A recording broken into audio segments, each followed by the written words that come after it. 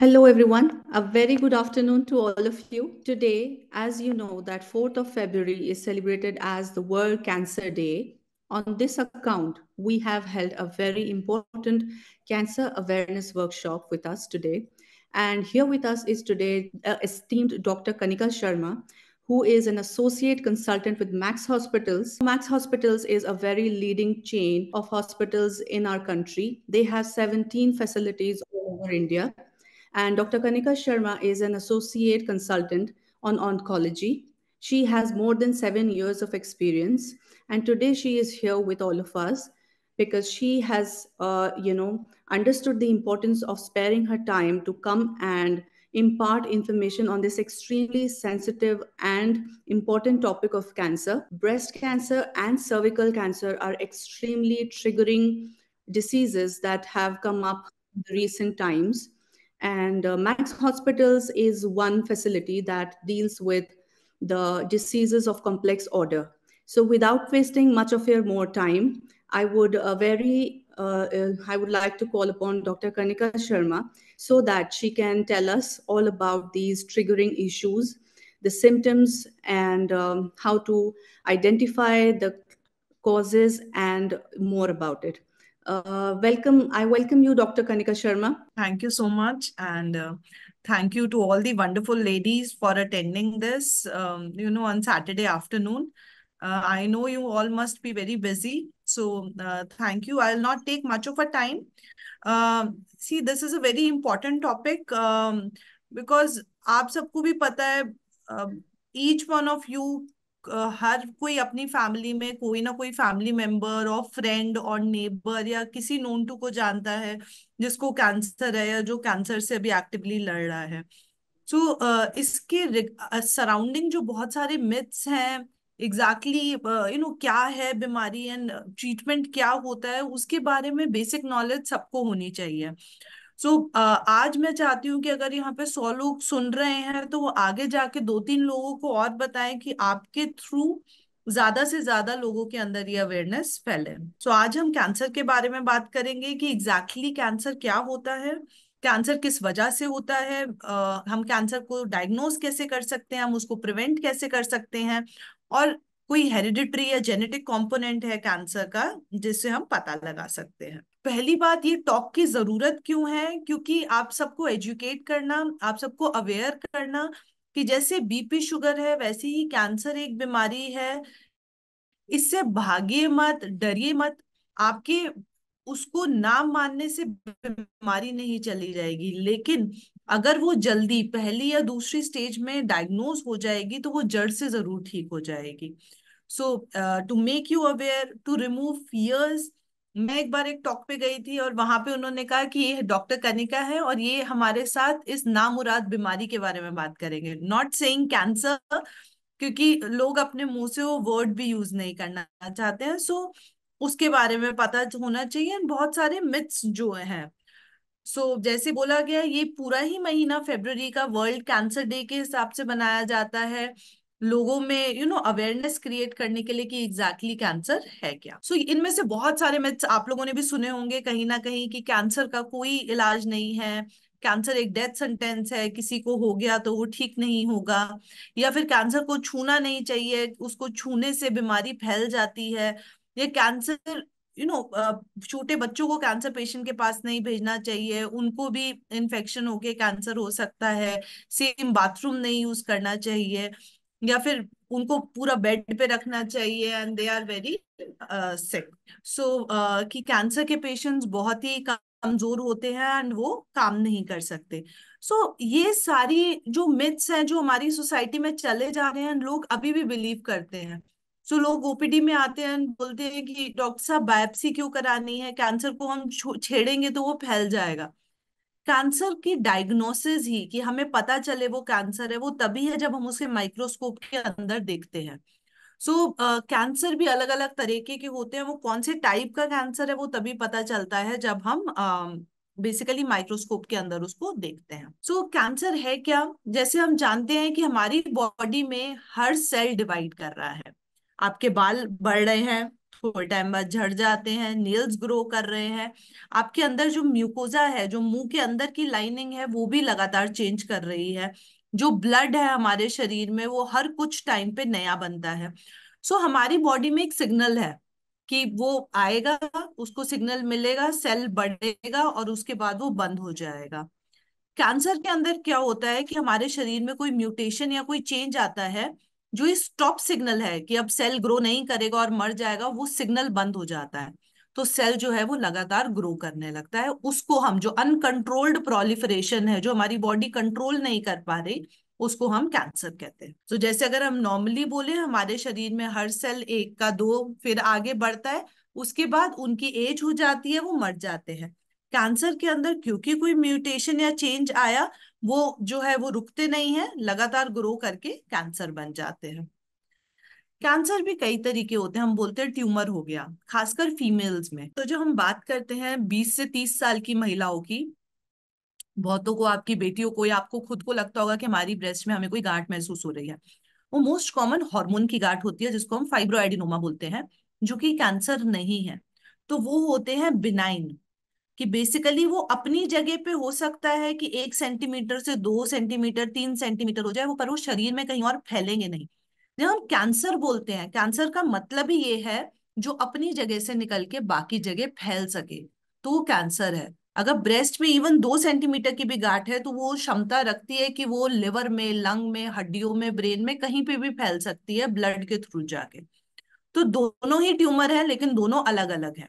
सो so, अगर आपके किसी बच्चे को या आपको खुद को ब्रेस्ट में गांठ है तो वो चेक कराइए। ज़रूरी नहीं है कि वो कैंसर ही निकले। हो सकता है कि हार्मोन की चेंजेस की वजह से उसके लिए कुछ भी नहीं कराना होता पर आपको पता होना चाहिए कि कौन से टाइप की गांठ है। क्योंकि एक बहुत बड़ा मिसकंसेप्शन है कि मुझे गांठ है इसके अंदर दर्द नहीं है तो वो कैंसर नहीं है। कैंसर कभी भी दर्द नहीं करता चाहे वो कहीं का भी कैंसर हो फेफड़े का कैंसर हो पेट का कैंसर हो। कैंसर कभी पेन नहीं करता। तो ब्रेस्ट में भी अगर गांठ है पेन नहीं करी इसका ही मतलब नहीं वो कैंसर नहीं है। सो so, वो ध्यान रखना है कि एक बार चेक ज़रूर कराएँ कि किस चीज़ की गांठ है। सो कैंसर भी अलग अलग तरीके के होते हैं ब्लड के कैंसर होते हैं, गांठों के कैंसर होते हैं, हमारे अंदर शरीर के कैंसर होते हैं। तो ये सब हमें तभी पता चलता है जब हम सुई की जाँच करके उसको माइक्रोस्कोप के अंदर देखते हैं, क्योंकि सबका ट्रीटमेंट जो है वो डिफरेंट होता है। तो जब हम कैंसर की बात करते हैं तो उसकी अलग अलग स्टेजेस आती हैं। जैसे मैं आपको स्क्रीनिंग के बारे में बताऊँगी कि क्या होता है, वो हम क्यों करते हैं कि हमें स्टेज ज़ीरो पे पता चल जाए। देखिए मेन कैंसर की चार स्टेजेस होती है, पहली, दूसरी, तीसरी और चौथी। अगर हम ब्रेस्ट का एग्ज़ाम्पल लें स्टेज वन मतलब कि ब्रेस्ट के अंदर छोटी सी गांठ है, दो सेंटीमीटर से भी छोटी की और शरीर में और कहीं बीमारी नहीं है। स्टेज टू ब्रेस्ट में ही है, लेकिन वो साइज़ थोड़ा बड़ा हो गया है, पाँच सेंटीमीटर का हो गया है। स्टेज थ्री वो ब्रेस्ट से निकल के बगल में चली गई है बीमारी, थोड़ी सी फैल गई है। स्टेज फोर वो अपनी जगह से निकल के बाकी शरीर में फैल गई है, हड्डियों में आ सकती है लिवर में आ सकती है। पहली तीन स्टेजेस तक बीमारी जड़ से ठीक हो जाती है। जब चौथी स्टेज का कैंसर हो जाता है तो वो बीमारी लाइलाज कहलाती है। उसको हम कंट्रोल करके रख सकते हैं, लेकिन वो जड़ से ठीक नहीं होती।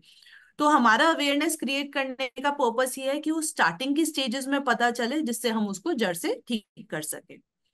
स्टेज ज़ीरो होता है, जो महिलाओं में होने वाले कैंसर है, जिसको हम कहते हैं ब्रेस्ट कैंसर बच्चेदानी के मुँह का कैंसर ओरल कैविटी कैंसर वो सारे एक प्री कैंसरस स्टेज होता है कि कैंसर शुरू होने से पहले प्री कैंसरस स्टेज तो स्क्रीनिंग के अंदर इवन वो भी स्टेजेस पता चल जाती है कि कैंसर डेवलप होने से पहले ही हम उसको पकड़ रहे हैं और उसका इलाज कर रहे हैं। तो अगर हम इंडिया की ही बात करें तो हर दस में से एक जने को कैंसर होने का रिस्क रहता है थ्रू आउट देयर लाइफ कि पूरे में। और जैसे जैसे आप एज करते हैं कैंसर होने का रिस्क बढ़ता रहता है। तो अगर महिलाओं की बात करें तो जो टॉप थ्री कैंसर है। पहले ये ऑर्डर नहीं था लेकिन अब फीमेल्स में भी स्मोकिंग तंबाकू इतना कॉमन हो चुका है कि फीमेल्स में भी सेकंड मोस्ट कॉमन अब मुँह का कैंसर है।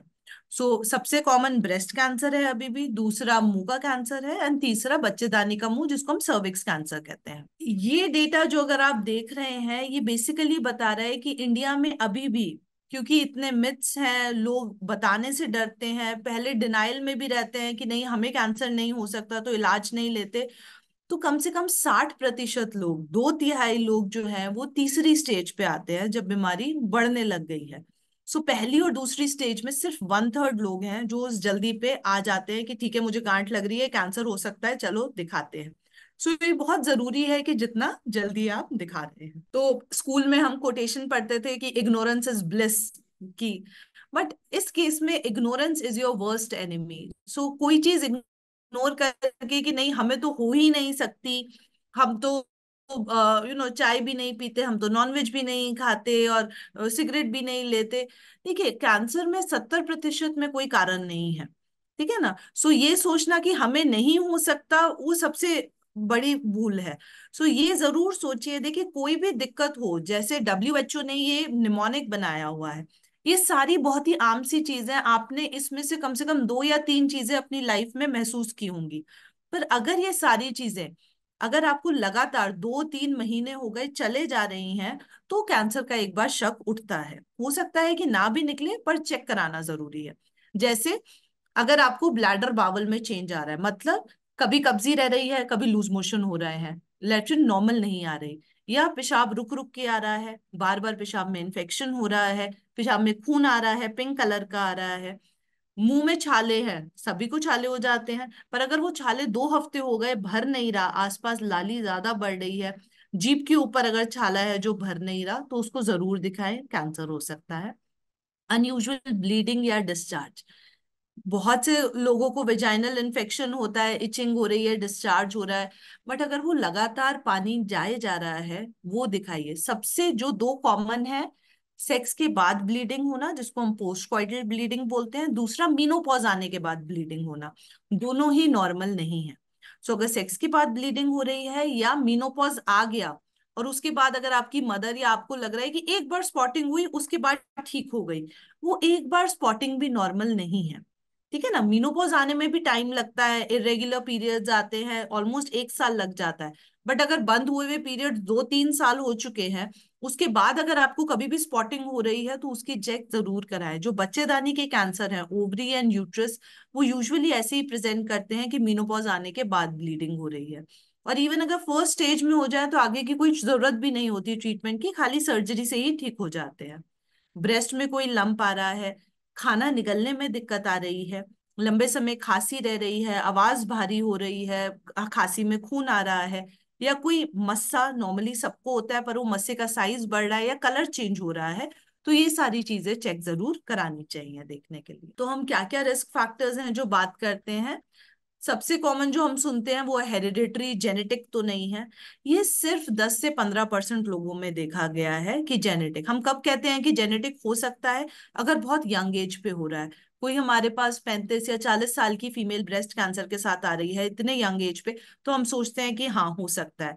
किसी फीमेल को दोनों ब्रेस्ट का कैंसर एक साथ आ गया, दोनों ब्रेस्ट में गांठ है।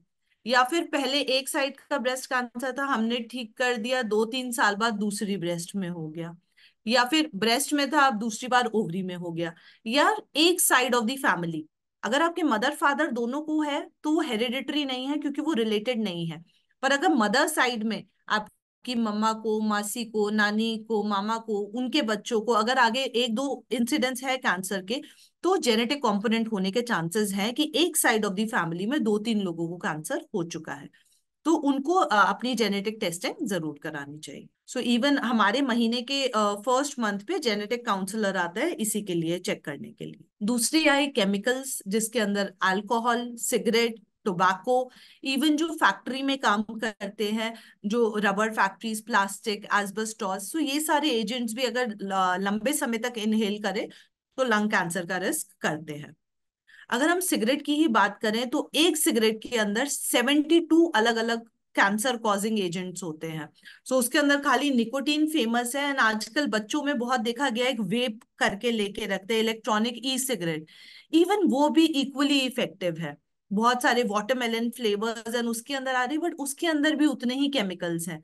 सो so, अगर आपका बच्चा ये यूज़ कर रहा है कि मैं ई सिगरेट कर रहा हूँ ये नॉर्मल नहीं है इवन उसको भी समझाएँ कि ये ना करें ठीक है ना? और सिर्फ़ सिगरेट लंग का कैंसर नहीं मुँह का कैंसर पेट का कैंसर यूरिनरी ब्लैडर शरीर में कम से कम 20-25 अलग अलग तरह के कैंसर का रिस्क करता है। फीमेल्स में इनफर्टिलिटी कराता है जिसका आजकल रिस्क बहुत बढ़ गया है। सो so, बहुत कॉमन uh, है इवन फीमेल्स में कि मैं सुबह एक बीड़ी पीती हूँ पेट साफ़ करने के लिए। सो so, देखिए पेट साफ़ करने के लिए बहुत दवाइयाँ हैं उसमें बीड़ी एक सोल्यूशन नहीं है उसके लिए जब आपको पता है कि इतना रिस्क है। सो so, उससे अपने बच्चों को बाकी जो है जो आपको दिख रहे हैं उनको काउंसिल करिए। बहुत अच्छी अच्छी टेक्निक्स आ गई हैं सिगरेट छोड़ने के लिए।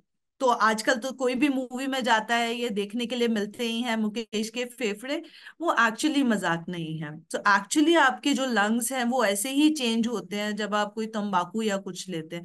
इवन जो सुपारी भी आती है आजकल इतने एड्स आते हैं सारे एक्टर्स कर रहे हैं इवन जो पान के अंदर सुपारी भी आती है वो भी अगर आप रेगुलरली सुपारी ले रहे हैं तो आपके अंदर जो है बकल म्यूकोजा गाल जिसको कहते हैं वो उसको अंदर इरिटेट करता रहता है।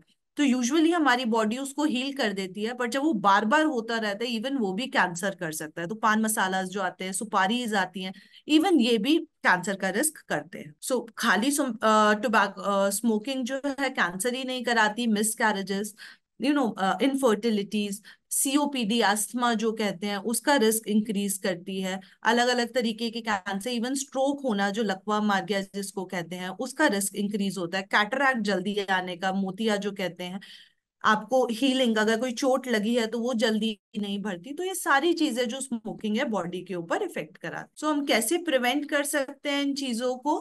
पहले आती है वैक्सीन जिनके बारे में हम बात करेंगे।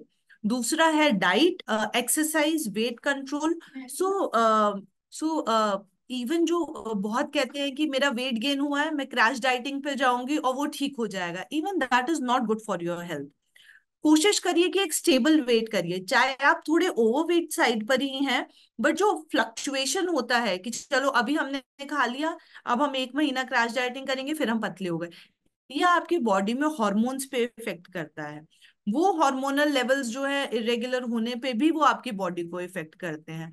तो कोशिश करिए अपने आप को आधे घंटे का टाइम दीजिए उसके अंदर आप योगा कर सकते हैं सोसाइटीज या पार्क्स में अवेलेबल होता है एक्सरसाइज कर सकते हैं simple brisk walking brisk walking is normal जितनी स्पीड में चलते हैं उससे थोड़ी तेज स्पीड में चलें इवन वो भी बहुत अच्छी एक्सरसाइज है। सो so, आधा घंटा अपने ऊपर देके एक्सरसाइज ज़रूर करें उससे वेट भी कंट्रोल रहेगा और उसके बहुत सारे अपने बेनिफिट्स भी हैं। Personal hygiene So personal hygiene and practice safe sex again because of the infections. जो सर्वाइकल कैंसर्स है वो यूजुअली उनमें देखा गया है जो अपनी पर्सनल हाइजीन मेंटेन नहीं करते जिनको रेकरेंट इन्फेक्शन होते रहते हैं। So try to use condom try to avoid infection अगर आपको रेगुलर हो रहे हैं you know show your gynaecologist get it treated जिनके मल्टीपल सेक्सुअल पार्टनर्स हैं वो थोड़ा सा ध्यान दीजिए। सो so, ये सारी चीज़ों पे ध्यान देने के लिए है for prevention and the minimum that you can do is stop taking tobacco in any form या सिगरेट के फॉर्म में, या तंबाकू, या गुटके के फॉर्म में and limit your alcohol intake so daily जो अल्कोहल लेते हैं इवन बिंच ड्रिंकिंग भी जो करते हैं, कि जी हम सिर्फ़ सैटरडे को बाहर जाते हैं, लेकिन उस दिन हम चार पाँच ड्रिंक पीते हैं even that is not good for your health so try to limit your alcohol intake so जो हम वैक्सीन के बारे में बात कर रहे थे तो ये हमारा हेल्थ um, चार्ट है जो आपके ऑब्वियसली बहुतों के बच्चे होंगे uh, आप ये चार्ट देख चुके होंगे कि बर्थ में बीसीजी लगता है फिर हेपेटाइटिस लगता है। सो so, हेपेटाइटिस की वैक्सीन आजकल हम बच्चों को दे रहे हैं क्योंकि इम्यूनाइजेशन स्केड्यूल हम जब बच्चे थे तब ये इम्यूनाइजेशन स्केड्यूल में नहीं थी। तो मैंने भी तब लगाया है जब मेरा you you know know, uh, मैं डॉक्टरी की पढ़ाई कर रही थी एमबीबीएस की। सो so, उसके बाद जब आप इंटर्नशिप करते हैं जब आप पेशेंट्स देखने लगते हैं तो ये वैक्सीन लगानी कंपलसरी होती है क्योंकि इन्फेक्शन होने का रिस्क रहता है। सो so, तब मुझे ये वैक्सीन लगी थी। सो so, बहुत सारे आप लोग हो सकते हैं जिनको हेपेटाइटिस बी की वैक्सीन ना लगी हो सो so, वो ज़रूर लगा सकते हैं। दूसरा है एचपीवी वैक्सीन जो कि है सर्वाइकल कैंसर के लिए। इसका जो है अब मुझे कोई बता रहा था even I think Chandigarh government जो है वो फ्री लगा रही है एचपीवी वैक्सीन सो अभी वो सिर्फ़ फीमेल्स के लिए स्टार्ट किया है पर see HPV infection males females दोनों को इफ़ेक्ट कर सकता है. मेल्स में भी अगर हम बोले पेनिस का कैंसर मुँह का कैंसर वो होने के रिस्क रहते हैं एचपीवी इन्फेक्शन से सो. So, इवन उसमें कर सकता है. ये यूजुअली देखा गया है कि हमारे अंदर बहुत ही कॉमन है ये एचपीवी इन्फेक्शन होना। सो so, इससे प्रिवेंट करने के लिए 9 से 26 साल की एज में रिकमेंडेड रहती है वैक्सीन सो so, बच्चों को लगा सकते हैं। एक बार आपकी शादी हो चुकी है you are sexually active so इतना बेनिफिट इस वैक्सीन का नहीं देखा गया है। सो so, आप अपने बच्चों को लगवा सकते हैं को काउंसिल कर सकते हैं। तीन डोजेस लगती हैं अच्छा रिलेटेड सो स्क्रीनिंग जो हम बात कर रहे थे तो स्क्रीनिंग नॉर्मल इंडिविजुअल में की जाती है। सो so, ये कंसेप्शन नहीं होना चाहिए कि मुझे तो कोई दिक्कत नहीं है मुझे क्यों दिखाना है डॉक्टर को? So screening is done in healthy individual आप मैं जिसको कोई दिक्कत नहीं है वो ये टेस्ट करा रहे हैं। सो so, अगर हम फीमेल्स में बात करें तो जो प्रूवन स्क्रीनिंग है फीमेल्स में मैमोग्राफी 40 साल की एज के बाद हर दो साल में एक बार करानी चाहिए। मैमोग्राफी है क्या? ब्रेस्ट का एक्सरे है जो कराया जाता है। सो so, इसमें इवन छोटी से छोटी चेंजेस भी आ रही हैं वो भी देखी जाती है। और दूसरा सर्वाइकल कैंसर के लिए एक पैप्समियर है। पैप्समियर भी अगेन कुछ नहीं है it's a simple painless procedure आप अगर गायनी के पास जाएँगे तो वो एक जस्ट एक स्वॉब लेते हैं। कोई पेन नहीं है कुछ नहीं होता है एंड उसके अंदर देखा जाता है कि कोई एटिपिकल सेल तो नहीं है। क्योंकि जब हम बच्चे बच्चेदानी के मुँह के कैंसर के बात करते हैं सर्वाइकल कैंसर के सो so, इन्फेक्शन होके प्रॉपर कैंसर होने में पाँच से आठ साल लगते हैं। सो so, हो सकता है कि आपको चेंजेस आए जा रहे हैं धीरे धीरे एंड उसके बाद कैंसर डेवलप हुआ। सो so, वो आपको टेस्ट कराना ज़रूरी है देखने के लिए कि आपको एचपीवी इन्फेक्शन पॉजिटिव तो नहीं आ रहा। दूसरा वो एटिपिकल सेल्स तो नहीं आ रहे। तो वो पैप्समियर के अंदर देखा जाता है। मेल्स में अगर हम बात करें प्रोस्टेट कैंसर के लिए पीएसए का टेस्ट है लेकिन वो उतना कॉमन नहीं है क्योंकि वो इन्फेक्शन में भी बढ़ावा आ सकता है। आप करा सकते हैं क्योंकि अगर वो पचास साठ सौ तक की वैल्यू आ रही है तो वो सिग्निफिकेंट है। बॉर्डर लाइन बढ़ावा आ रहा है तो उसकी उतनी सिग्निफिकेंस नहीं होती। दूसरा है लंग कैंसर तो जो अगर जो क्रॉनिक स्मोकर्स हैं जो पिछले दस पंद्रह साल से रोज यू नो पाँच से दस सिगरेट स्मोक कर रहे हैं वो लोडोज सीटी स्कैन करा सकते हैं साल में एक बार लंग कैंसर जल्दी पकड़ने के लिए। सो so, फीमेल्स में दूसरा हम स्क्रीनिंग के लिए क्या कर सकते हैं? सेल्फ ब्रेस्ट एग्जामिनेशन जो कि महीने की एक तारीख मतलब एक डेट पे किया जाता है। रैंडमली नहीं करना है कि मैंने आज किया एक हफ़्ते के बाद फिर किया। क्योंकि फीमेल्स में साइक्लिक चेंजेस इतने होते हैं हार्मोनल की वजह से कि आपको एक हफ़्ते में ही अपने ब्रेस्ट में डिफरेंस लगेगा। तो कोशिश की जाती है कि जिस दिन आपके पीरियड्स खत्म हुए हैं, उस दिन लास्ट डेट पे करिए। अगर आपके पीरियड्स बंद हो चुके हैं तो मंथ की फ़र्स्ट डेट पे कर सकते हैं कि बेसिकली आपको याद रहे कि आज मंथ चेंज हो गया है। सो उसमें कुछ नहीं करना है, शीशे के सामने जैसे खड़े हुए हैं, देखना है कि दोनों ब्रेस्ट इक्वल है। हाथ ऊपर करने पे दोनों ब्रेस्ट इक्वली मूव कर रही हैं कि नहीं? पाम ऑफ़ दी हैंड्स के साथ उनको एग्जामिन करके देखना है कि कोई लंप फील तो नहीं है पोक नहीं करना है नील से। इस पार्ट से सॉफ्टली पैल्पेट करके देखना है प्रेस करके। निपल को प्रेस करके देखना है कि कोई डिस्चार्ज तो नहीं आ रहा, चाहे वॉटरी डिस्चार्ज हो ब्लड स्टेन डिस्चार्ज हो तो कुछ नहीं आ रहा। ब्रेस्ट के साथ साथ एक्जिला भी देखना है, बगल में भी देखना है कि कोई गांठ महसूस तो नहीं हो रही। तो ये सारी टेस्ट ज़रूर करिए। सिंपल सा टेस्ट है, पाँच मिनट नहीं लगेंगे आपको देखने में, पर आप ये देख सकते हैं, स्किन के ऊपर कोई लालपन तो नहीं आ रहा, कोई अल्सर तो नहीं आ रहा, सो वो इम्पोर्टेंट रहता है। अगेन, मैमोग्राफी जो फिल्म्स मिलती हैं, वो यूजुअली ऐसे दिखती हैं, जैसे एक्सरे होता है ब्रेस्ट का, सो so इवन अगर कोई छोटा भी चेंज होता है तो वो उसके अंदर पता चलता है। अगेन, क्योंकि ओरल कैविटी कैंसर इतने फैल गए हैं तो अगेन, जब आप ब्रश करते हैं उस टाइम पे देखिए कि कहीं कोई छाला तो नहीं हो रहा, एक उंगली मुँह के अंदर फैला के देखिए कि एकदम स्मूथ है, कहीं कोई मोटापा तो नहीं लग रहा मतलब मोटापन तो नहीं लग रहा बकल म्यूकोजा के अंदर। जो लोग ज़्यादा टाइम तक गुटखा खाते रहते हैं, अगर उनको देखेंगे कि ओवर टाइम उनका मुँह खुलना थोड़ा सा कम हो जाता है। नॉर्मली अगर हम बोले हमारा मुँह तीन फिंगर आराम से अंदर जा सकते हैं। अगर वो कम हो रहा है तो उसके अंदर होता है सब कैंसर शुरू होने से पहले चेंजेस आते हैं। सो so, अगर कोई आ रहा है सो ये हम ओरल कैविटी के लिए कर सकते हैं कि जीप के ऊपर कुछ तो नहीं लग रहा दाना वगैरह या कोई छाला तो नहीं लग रहा तो ब्रश करते हुए ये जाँच कर सकते हैं। सर्वाइकल कैंसर के लिए 21 साल से नीचे के लिए कोई टेस्ट ज़रूरी नहीं है। उसके बाद तीन साल में एक बार पैप्समियर ज़रूर करवाएँ। अगेन सिंपल सा प्रोसीजर है तो दो साल में एक बार मैमोग्राफी तीन साल में एक बार पैप्समियर दोनों ही पेनलेस प्रोसीजर्स हैं। सो so, एक बार जैसे अगर आप गायनी के पास गए तो वो लेके एक स्वॉप सा ले लेता है। तो ऐसे एक वुडन सा स्कैपला होता है। कोई खून नहीं आना होता, कोई पेन नहीं होता, वो जस्ट एक सैंपल लेके उसके अंदर इन्फेक्शन के लिए चेक करते हैं। बाकी ये जो टेस्ट है, ये हम तब करते हैं जब पेशेंट्स को कोई सिम्टम आ गया। जैसे अगर आपको गांठ डेवलप हो ही गई या आपको किसी तरह का कैंसर हो गया तो क्या स्टेज है वो देखने के लिए फिर सीटी स्कैन एमआरआई या पेट स्कैन किया जाता है, जो कि पूरी बॉडी का स्कैन होता है। और एक सुई का टेस्ट जिसको हम बायोप्सी एफ़ एन बोलते हैं वो किया जाता है। सो so, आगे क्या क्या कैंसर्स के ट्रीटमेंट होते हैं? जो तीन बैकबोन हम कहते हैं जो पिछले पचास साठ साल से ट्रीटमेंट चल रहा है वो है सर्जरी रेडिएशन और कीमोथेरेपी सो so, ये पेशेंट्स को दी जाती है। अलग अलग पेशेंट्स की स्टेज के हिसाब से अलग अलग ट्रीटमेंट रहता है। आजकल अब नए नए ऑप्शन आ गए हैं hormonal therapy targeted therapy immunotherapy जो आपने कहीं ना कहीं नाम सुने होंगे। सो ये सारे आते कीमोथेरेपी के अंडर ही है कि इंजेक्शन या टैबलेट फॉर्म ऑफ़ ट्रीटमेंट है जो कि कैंसर के ऊपर काम करता है। सो so, हम क्या क्या कर सकते हैं? स्मोकिंग अवॉइड करना या quit smoking maintain a healthy body weight eat fruits and vegetables so eat seasonal fruits and vegetables so there is nothing as a superfood कि ये uh, कर सकता है तो जो भी उस सीज़न के डिफरेंट कलर्स के फ्रूट्स एंड वेजिटेबल्स आ रहे हैं उनको अपनी डाइट में ज़रूर करिए। ये चिया सीड्स फ्लैक्स सीड्स हमारी डाइट में कभी भी इंट्रीग्रल पार्ट नहीं थे। सो so, जो जो आप खा रहे हैं जो आपकी बॉडी डाइजेस्ट कर पा रही है वो लीजिए। बी एक्टिव अपने लिए आधा घंटा निकाले just be physically active try to lose weight. Get vaccinated जिन जिनको नहीं लगी है। प्रोटेक्ट योर सेल्फ इन स्कन यहाँ पे इतना इंसिडेंस नहीं है बट ऑस्ट्रेलिया वगैरह में स्किन कैंसर का बिकॉज़ ऑफ़ सन एक्सपोजर वो इंसिडेंस काफ़ी ज़्यादा है and follow the screening recommendation so the least you can do is a mammography and a pap smear जो कि दोनों ही पेनलेस प्रोसीजर्स हैं So take home messages, cancer is preventable. You can prevent it.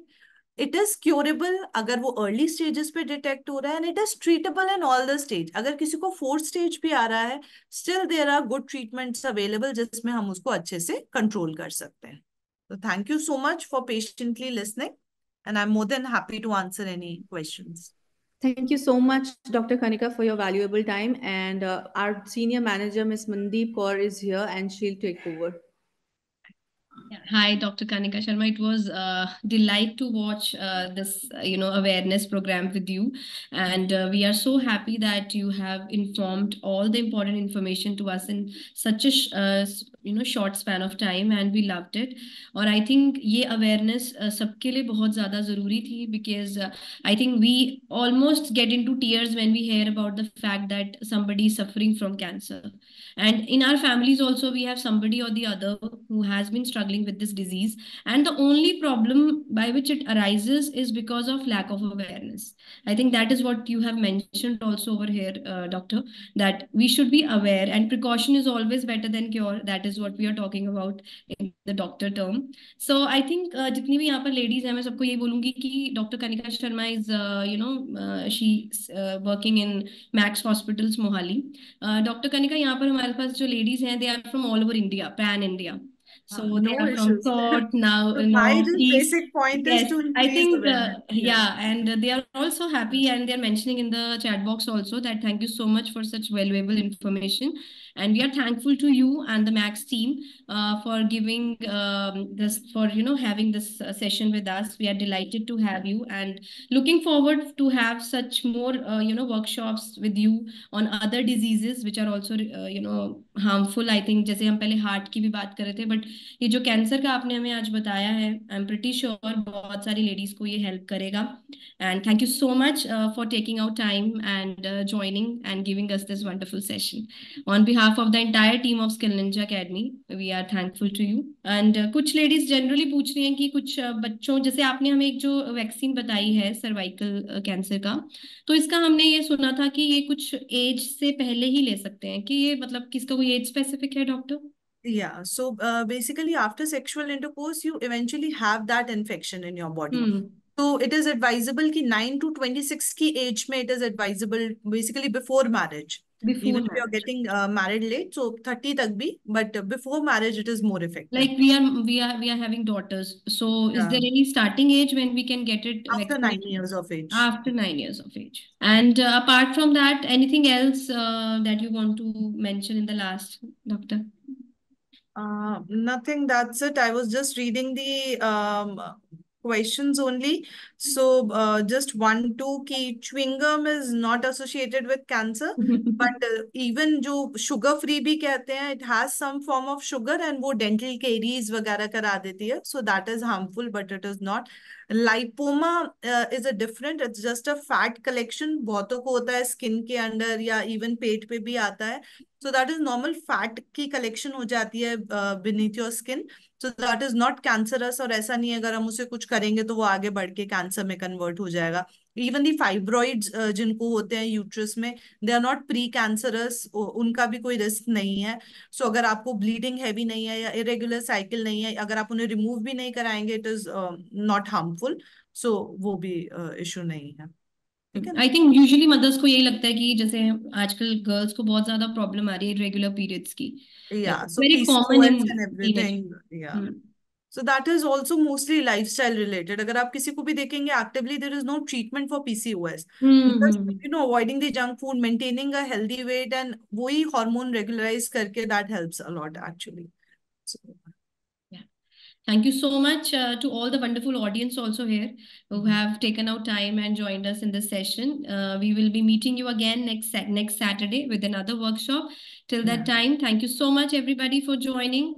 And thank you so much team of uh, Max Hospital and especially Dr. Kanika Sharma. Thank you so much. Thank you so much.